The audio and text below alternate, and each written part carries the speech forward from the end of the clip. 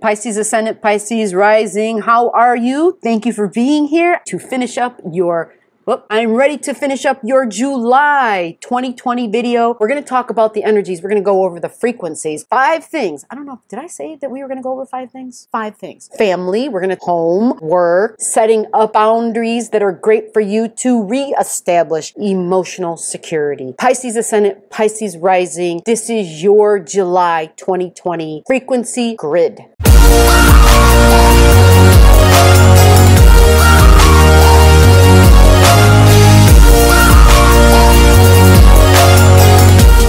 All about you, Pisces Ascendant, Pisces Rising. There's some awesome stuff happening for you at the end of the month, so I'm happy to be able to deliver that. Not all the signs have this because we're all going to be going through some trying times. However, July, when we look at the grand scope of the next six months, like July, August, September, October, November, December, out of all those months, July, where it will likely be the best of the rest. Because we get a chance in this month to recalibrate some things if we play our cards right.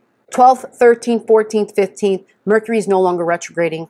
The catch here with that Mercury no longer retrograding is that our thinking, Mercury's our thinking, it's still going to be in waters. So even though we're done thinking about something, because that's what we were doing when it was retrograding, we were rethinking what we need for our family. We were rethinking how, like, who is in my family? Where's my family going to live? How do I establish emotional security? How can I have a family if so and so is not part of it? Who belongs in this bucket? I've just gotten rid of so many people that I thought were family, and suddenly I'm wondering, do I need anybody to be part of my family? Pisces ascendant, you have the ability at times to be like, you know, know what? If I got to be alone and just sit with me, sit in my own stuff, I can do it. But at the same time, you want to have a good time. You want to have fun. And so understanding that you need to have fun and people who are like-minded, people who you consider part of your tribe, fit into that bucket for you. They are part of your family. You have past life his history with folks that you have a good time with. Relationships that are considered romantic and having fun with your body, um, being very creative. Things with children is a big deal. You have cancer energy, so you've got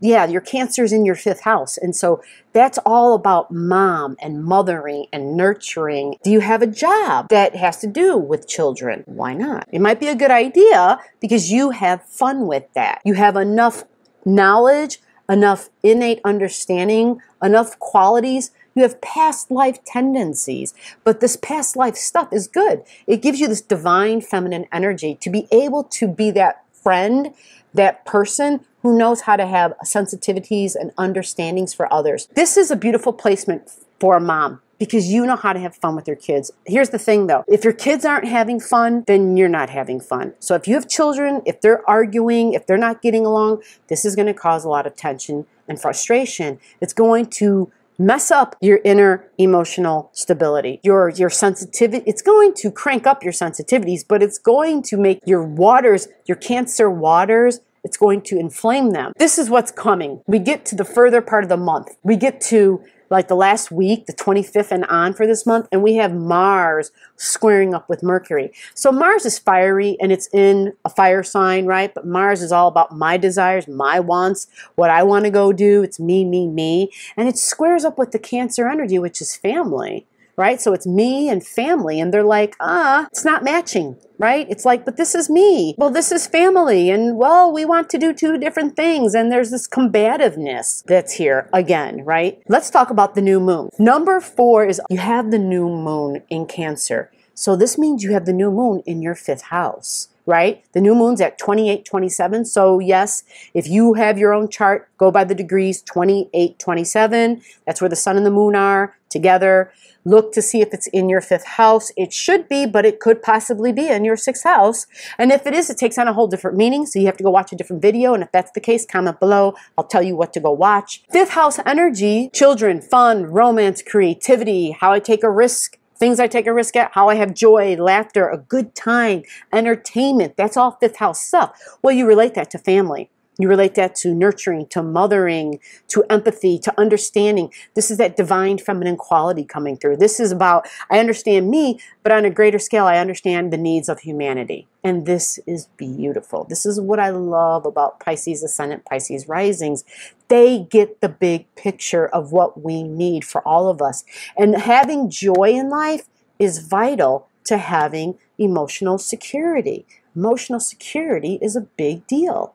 But what do we need for emotional security? You're going to likely need family, right? And so having family having family that gets along where there's no combativeness happening is going to be a big deal for you that when you have a new moon in this sign in the sign of family in the sign of mom in the sign of nurturing in the sign of understanding and empathy in the sign of sensitivities there is this birthing process that we are going through. It's not easy, right? You talk to any woman, birthing is not pain free. And Mars, that's this is number 3. Mars, we're going to go back to the new moon, don't worry. Mars is actually setting up tension and stress and frustration with Mercury.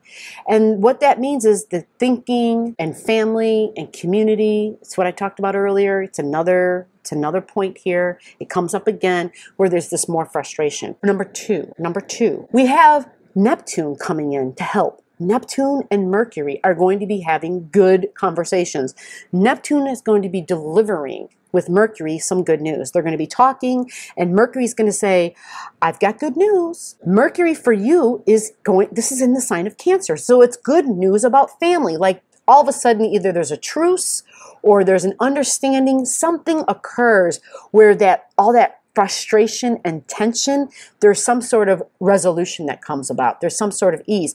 But it's not it's not you know it's you have to make you have to make a compromise you have to say okay. You have to say all right. You have to say okay. I'm willing to do this. It's it's not you know. Some people would say it's with strings attached to it. Like you have to you know, in order to get this, you have to do this. It's going to be one of those things is that it will, there will be this Neptune effect. There's a warning. There's some nuggets. We're at number one. There's lovely communication that's occur, okay? Because it's, it, there's going to be a Venus factor involved here. So what I love, who I love is also going to be conversing with Neptune but it's a square. And so what that means is that we can have delusional love. We can have delusional ideas.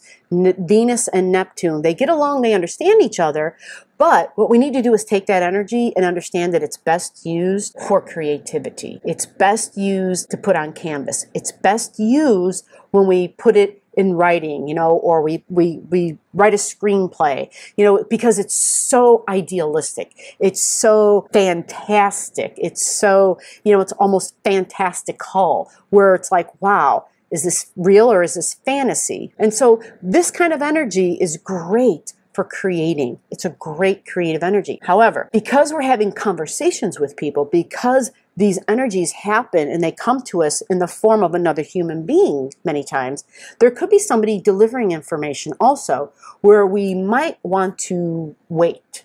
Don't make any decisions. If there's any relationship commitments or decisions that are being asked to be made, you want to wait until you get into the next month. Okay, you want to wait until the sun moves into Leo. And as we get further into August, we're going to have Mercury move into Leo. Mercury will no longer be in the in the waters of Cancer where it's very emotional. Once Mercury hits Leo, you know, because the sun will be there, then Mercury will be there.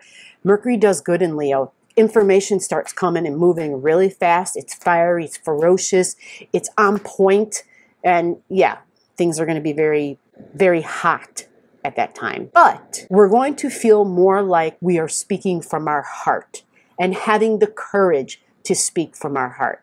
So let me give you a nugget that you can walk away with here. But because the stress and the tension has to do with what you value because this is what it's going to be. Mars is going to be in your second house, setting up frustrations. Mars is going to be like, but this is what I value. This is my value.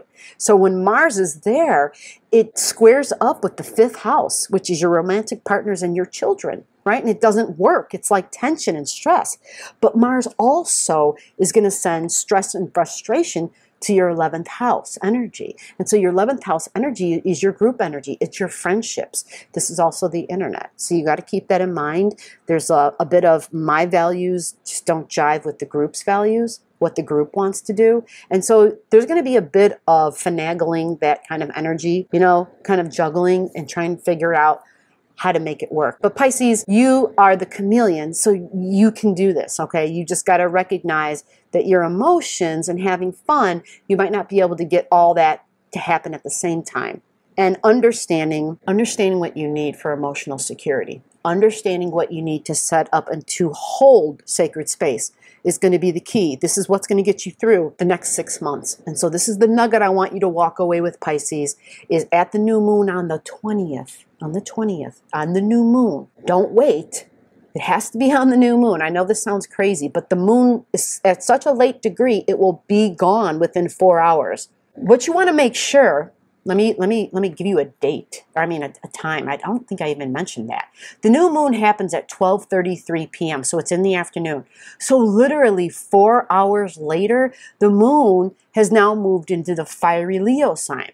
The point of a new moon is the potency of it is when the sun and the moon are sitting on top of each other at the exact degree it's very powerful. And at this particular new moon, we also have Saturn at the opposite end at that time. And so what that tells us is we have responsibilities. We have rules. We have restrictions. We have things that we have to do for work, right? Because this new moon, Cancer, it's all about family.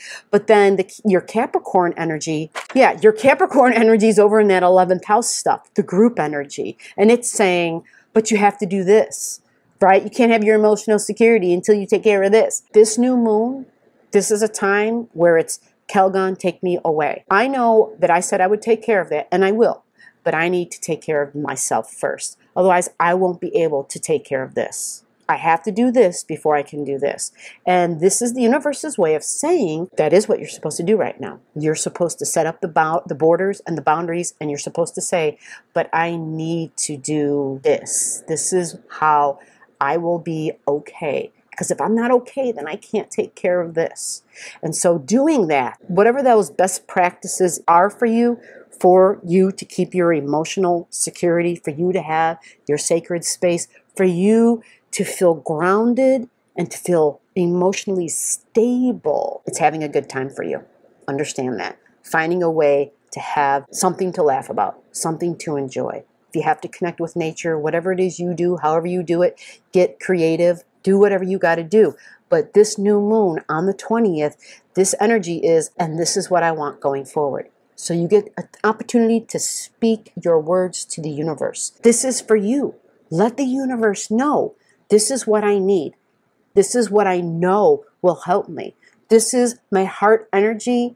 This is me talking from my state, my emotional sacred space, and saying, but this is who I am. And this is me showing the universe that I know how to be a, the best version of me by being the mother of me.